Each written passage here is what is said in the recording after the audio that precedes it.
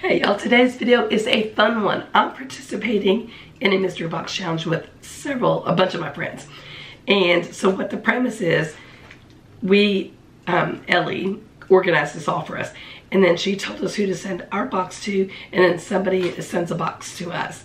And then we unbox it on camera so that she can see what we got at the same time we see what we got.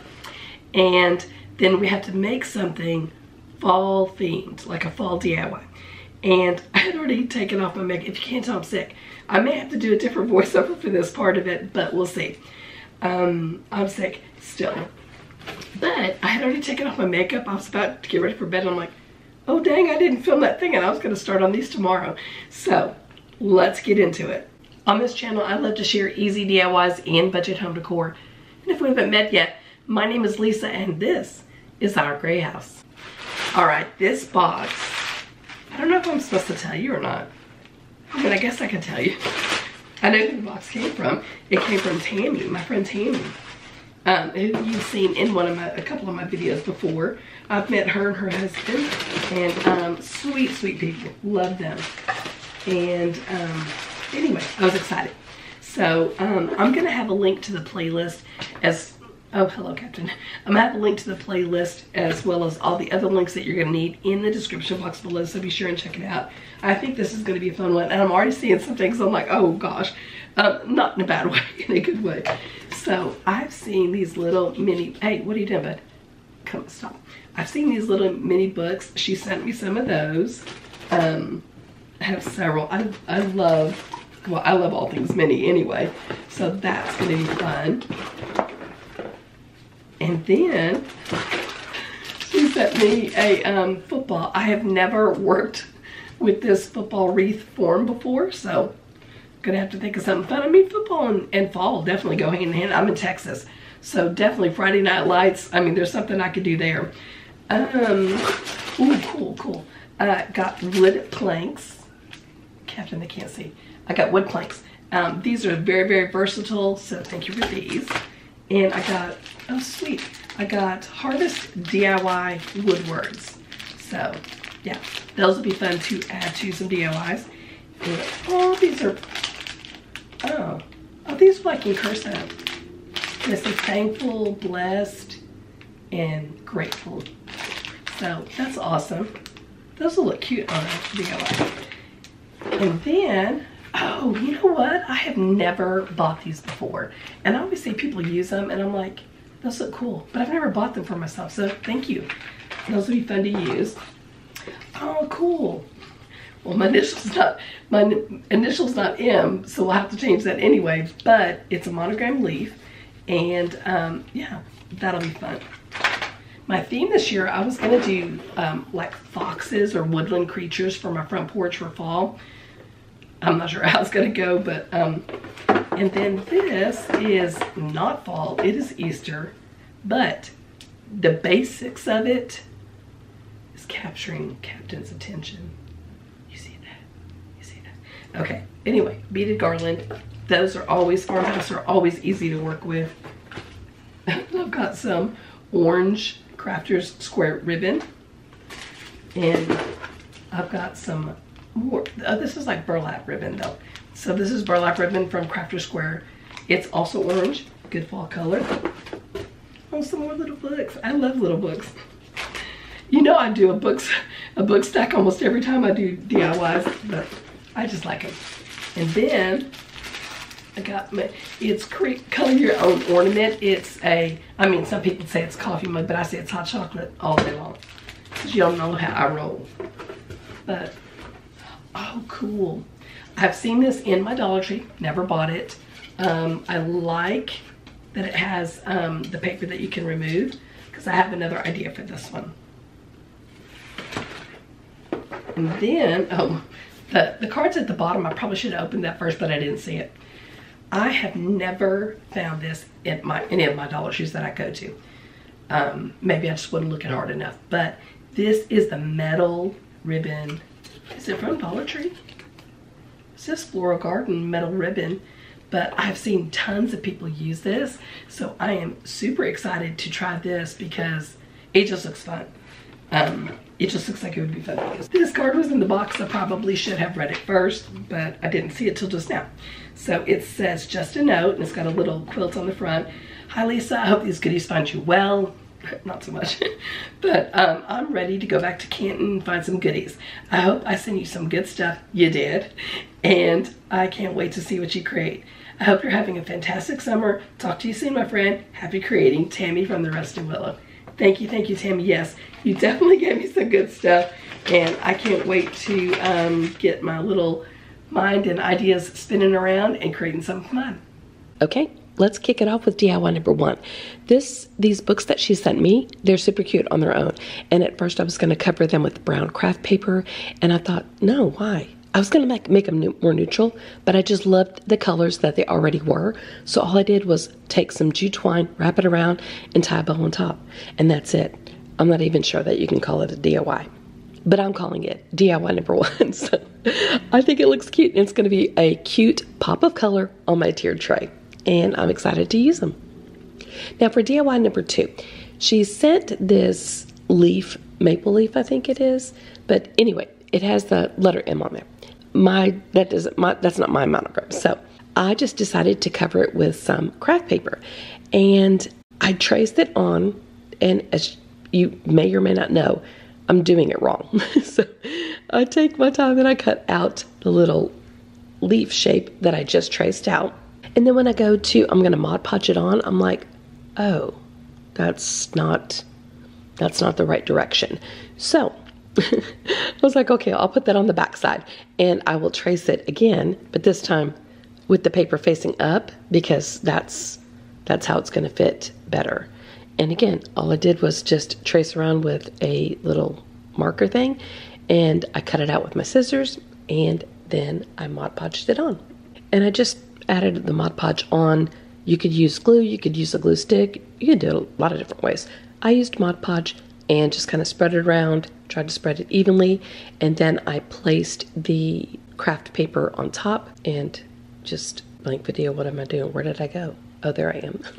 so I just placed the paper on top and gently tapped it down and then I let it dry. And once it was dry, I took my finger sander and I just went all the way around the edges of the little leaf shape and try to sand them down. Now, this particular piece, the backing of it, the some of the wood on the back felt like came off while I was sanding, which was really no problem because I was putting on a backing to it anyway. But you just use your finger sander or you could use like an emery board or something like that and just clean up the edges. And this is how DIY number two turned out. And I'm looking at this, I'm like, oh, I see where I need to sand a little bit more. But hey, I think it still turned out super cute and it's gonna look great on a tier tray. For DIY number three, I'm going to remove the front of this sign. And I was trying to take off the family sign because it's like made of metal, like a really thin metal. And all I did was just take this, you know, rag that I had, soaking wet, and I let it set on the thing. And I don't know how long it took me in total. It really doesn't take that long to, to soak it off. And you just kind of let it soak, scrape a little bit, let it soak, maybe it took me like 10 minutes total to get it all off but um, I actually was able to save that family sign. Although I don't use it in this video, I can maybe use it in another video, so I did save that. But I just took all of the front paper off. And once it's all off, you can kind of see where there was like a um, stain or like where there's that water stain there, but I'm painting it, so it doesn't really matter. And I'm just trying to figure out how I want to lay this out. And so I use painter's tape to kind of mark off the lines where I'm going to be painting and then I use a little piece of painter's tape as my spacer and just laying out the painter's tape and getting ready to paint. Then I'm taking my favorite color, maize. I just really love that color and I know that some people might go, oh, well, it's a, you know, like, I don't know, summer color or something. Well, okay, use it for summer. I'm using it for fall. And so I'm painting all the lines that you see here. I'm painting it with the color maize. And then I had used a linen color on the top and bottom sections. I didn't like it, it was blending too much. So I went in with a, I think this is moss. And I'm just adding, you know, another color in there, kind of a fallish color, or it's fall to me anyway. Then I mark off the other areas. I'm trying for a crisp line, but not like super crisp. It's not that critical that it's super crisp. But now this is the celery color, and I'm painting that on the that section there, and then skipping the middle section and painting right there. And for the middle, I am painting that with pumpkin, um, paint in the color pumpkin. And so far, I'm really liking the color combo.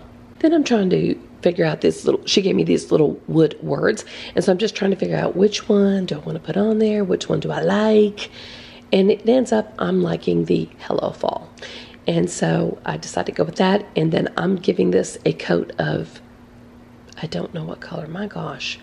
It's like cinnamon or something like that. I ended up doing some other stuff to it. So, but it's starting out with this color here. I guess I don't show you, but I had dry brushed some like white on there. I didn't like that. Then I tried to darken it up with some, um, you know, uh, what do you call it, ink on the edges. Anyway, went back with the brown color, and I like that a lot better. And I'm attaching that in the corner to this wire frame that I've used some greenery that had a wire in it, and I wrapped it all the way around.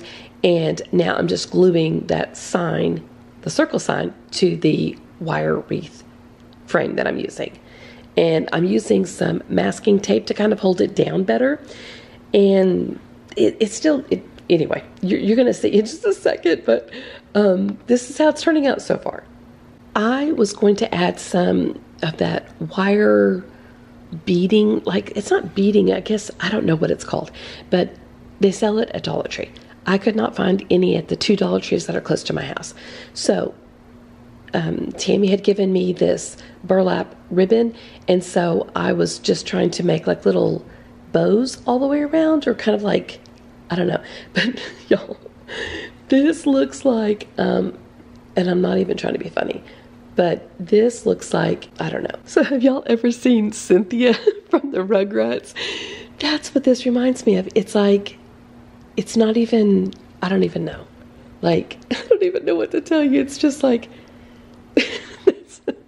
I don't even know how to fix it. If you have any ideas on how to fix this, leave me a comment below. I mean, like in my mind, it was to turn out so cute, but all I can see is like Cynthia's hair from the Rugrats. So, anyway, that was DIY. Um, I don't even know what DIY I'm on now. All right, this is DIY number four, so I guess that was DIY number three. But I'm taking these paint sticks and I am measuring out because I'm going to be making these little candle holders and so I'm just kind of sorting through the paint sticks that I have because I keep all my scraps. She had given me this pack of um, wood planks or whatever. I'm not even sure what it's called. So um, I'm using those as a guide because that's what I'm using as the base. And I'm just cutting the paint sticks down to size. And I'm going to use some painter's tape to kind of wrap around to keep them all together so I can cut them all at once as opposed to cutting them individually, which would take me forever and a day. And I'm making three of them. So I need three squares. And again, this is just me measuring it and I am trying to measure like well so that I know like everything fits. But y'all know I measure with my heart. so I'll show you what happens in just a minute. But um, I, you know, I try. That's that's all I can say is I try. And even, you know, like taking it and like making sure stuff fits, and it seems like stuff fits, but I'll show you in just a second. It doesn't end up fitting. somewhere in the process of my measuring, it I didn't measure correctly, or and or I didn't cut correctly. I don't know. It, it I would say it's me. it's me, not you. But um, they they ended up not being even, and so they weren't necessarily totally square. There was like overage, and at first I was just going to leave it, but I thought no, I can I can fix it. But before I try to fix that, I go ahead and give each one a coat of paint, and the first one's going to be that beautiful maize color that I really love. And the next one is going to be, now is this celery or moss? I'm going to have to go look at the thing. But um, I give that the color, either celery or moss. Either one will do. And the third one is that pumpkin color. Um, trying to keep a theme of my colors going here for this video. I do use some Jenga blocks on the bottom to create a riser and I did one with no Jenga blocks on the bottom, one with I think, two Jenga blocks on the bottom, and the third one is with four Jenga blocks on the bottom.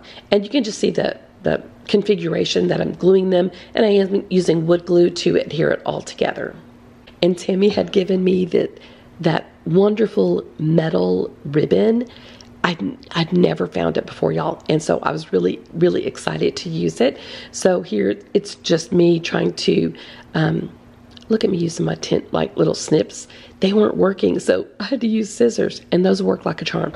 But um, I just kind of measured around each one and then cut the ribbon to that length. And then I laid them out on some brown craft paper and I gave it a coat of the folk art paint in the color plaster. And I just did that on one side because you're only going to see one side. And then I had these three candles from Dollar Tree, and I'm just removing the outer wrapping on it. And then I take these rub on transfers that I got from Dollar Tree, and I'm just choosing the ones that I want and cutting them out.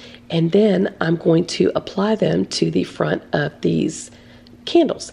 And you know, just taking a little popsicle stick, rubbing it on, and one of the tricks that I do is like I slowly pull back, and if I notice that something hasn't been transferred on, I just lay it right back down. I keep my finger kind of in one place so it doesn't move or wiggle around, and I just keep working it until I get it all transferred over to the candle. Then I take some hot glue and I attach the metal ribbon to each of the candle holders, and I use little um, those little clamps from the Dollar Tree um, if I feel like it needs it or if it feel like it's popping up or something like that. And this is how they turned out. I'm not even going to lie. These are gorgeous. These turned out so, so cute. And the rub on transfers worked like a charm on those candles. And I'm just like thinking, oh, I could do like so much more like rub on transfers on these candles because it looks so good. Like, I mean, it looks like it's on the candle already. So I think that's a great idea. And I encourage y'all to try it. All right, final DIY is DIY number five. And she sent me this football wreath form. And I thought to myself, what the heck am I going to do with that? I didn't know. And at first I was going to like, like staple it down to a piece of wood and kind of make it into a centerpiece or something like that. And I thought, oh, no, I'm going to make like a little bird cage type thing. So I found these other snips in my husband's, you know, the garage area, and I'm just snipping that off and look at me trying to measure like that's even that's not even a thing. But i was trying to get them kind of even because um, the next part it'll be important that they're kind of even. So i'd kind of you see me kind of fitting it there. I drilled some holes. And y'all i couldn't find the thing to put in a new drill bit in my drill press press. I don't know what i did with it. Um, if you know what i did with it let me know. But i couldn't find it. So i was just having to use my hand drill like anyway, and then of course the battery was dead on that, so that was awesome. But anyway, I got it done. And then I'm just using these little pliers to kind of bend things and make sure everything is where it needs to be. I'm pushing it down in place and I'm adding some hot glue and then I'm just going to hang on to that for like, I don't know how many seconds, but I'm just trying to make sure everything is in place and glued and not going anywhere. I'm just adding some more hot glue here and then I'm going to take this moss and I'm pressing it down. Now I'm doing a fall one so that's why I'm using this kind of moss. I guess Spanish moss maybe. But if you're doing like a spring one, you know, you might want to do the other kind. I don't know what the other kind's called, reindeer moss or something. Anyway, you know what I'm saying? Like just a little bit different vibe for it. So then I take a zip tie. She'd given me this carrot um, tassel, beaded tassel thing. So I took one of the beads off and um, I'm zip tying it to the top to become like a little, I don't know, like knob at the top. A lot of those have like a knob or a bird or pumpkin or something. Anyway, and so I attach it to the top and then I take four more beads and I hot glue them to the bottom to be kind of like the base. And I was going to paint them, but I didn't. And then I just take some jute twine and I make two little bows and I kind of glue them on top of the zip tie so you don't see the zip tie as much. And that's it. That's all you do. I think this. Oh, I also took. She had given me some wood um, words, and they said blessed, and so I um, kind of glued that to the front. Hot glued it just lightly to the front in case I want to change it out. I think it looks super cute. And that little fox I got from Dollar Tree. This is my favorite DIY from the project. I just think it turned out so so cute, and I actually kind of want to recreate it a couple different ways. So um, maybe you'll see a video coming out about that. That's it for today's video. I am sorry to cut this off so short. I appreciate you guys watching my video. Apologize for my voice. Hopefully it'll be back to normal really soon because I've got a couple more videos to film. Don't forget if you want to follow me on social media like here on YouTube or over on TikTok or Instagram, my handle is Our Gray House, but just don't follow me in real life though because that's creepy.